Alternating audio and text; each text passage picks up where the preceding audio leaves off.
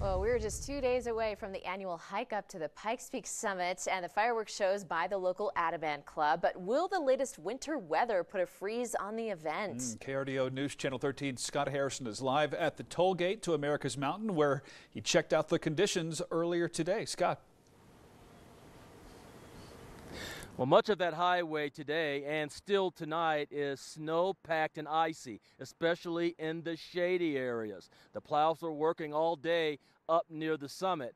But the crew, as of late this afternoon, tells us that the weather is not going to stop this annual event that's been going on for almost a century.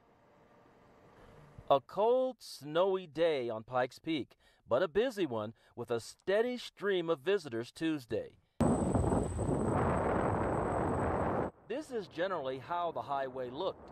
It's keeping vehicles from the summit, but it won't stop the half of the AdAmAn Club members hiking the highway on New Year's Eve. We've got a plan in place, guys in place to make sure that AdAmAn makes it up there. Um, in fact, the road looks pretty good right now. We're supposed to have clear days, hopefully through the New Year's. Because of social distancing for the COVID 19 pandemic, the hike is different this year. No pre hike breakfast, fewer hikers, and two separate groups. Ten members start on Barr Trail at 5 a.m. Thursday, hoping to hike the entire route in one day instead of the usual two. At 8:30 a.m., nine members will drive from the entry gate to Glen Cove and then hike to the summit from there. On Tuesday afternoon, the Pikes Peak crew had managed to clear a little bit more of the path towards the summit going about a mile or two above Glen Cove and stopping right here.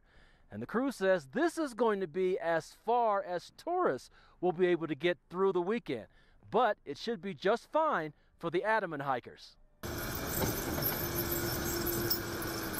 And there's a good reason why visitors can go no farther for now. In some places where I just came from up on the summit and down, um, there was three and a half, four foot drifts in the road.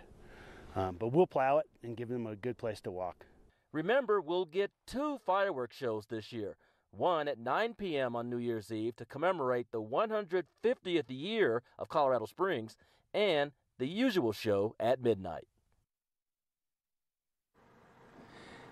And earlier this afternoon, the AdAmAn Club members tell us that they tried to get a head start on things by driving the trailer full of the fireworks up to the summit but because of the weather, the slick roads, and yes, this was yesterday with whiteout conditions near the summit and the condition of the roads, they weren't able to do it.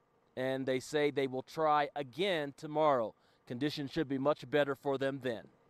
We are live at Pikes Peak. Scott Harrison, KRDO News Channel 13.